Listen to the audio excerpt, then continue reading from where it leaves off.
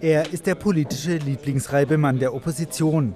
Verkehrsminister Winfried Herrmann hat der CDU-Kandidatenkandidat Guido Wolf kürzlich als allerbestes Wahlkampfpferd im eigenen Stall bezeichnet. Und viele Beobachter erwarten, dass Herrmann im kommenden Wahlkampf als Verweigerungsminister präsentiert werden soll. Als der, der S21 verhindern wollte, Bundesmittel verfallen, Infrastruktur verkommen lässt und Straßenneubau verhindern möchte. Mit dem Landesstraßenbauprogramm 2015 bis 2019 hat Hermann und mit ihm die grün-rote Landesregierung heute aber in Stuttgart einen kräftigen Gegenimpuls gesetzt, zusätzlich zu den weiterlaufenden Sanierungen.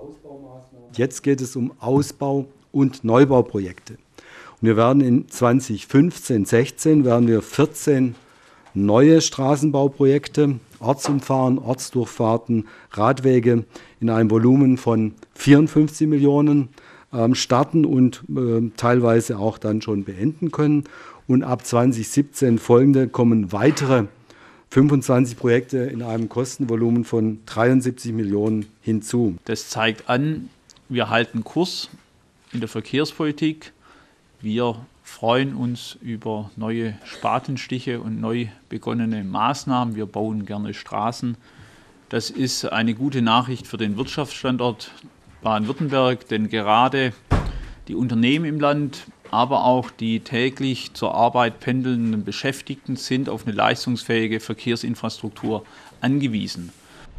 Konkret 2015, 2016 sollen vor allem neue Ortsumgehungen zur Verkehrsentlastung vorangetrieben werden, vor allem solche, die plan festgestellt sind.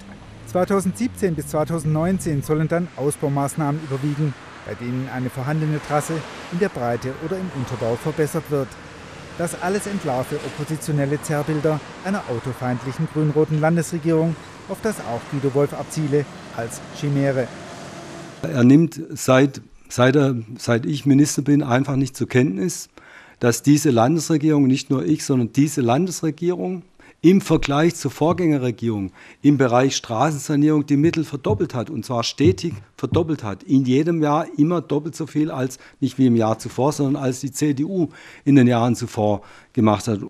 Richtig sei hingegen, dass die CDU-FDP-Vorgängerregierung Straßen auf Pump finanziert und so einen Schuldenberg hinterlassen habe, so Hamann.